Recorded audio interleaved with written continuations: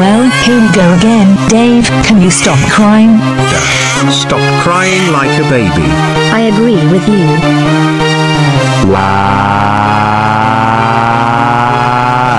Dave, stop it.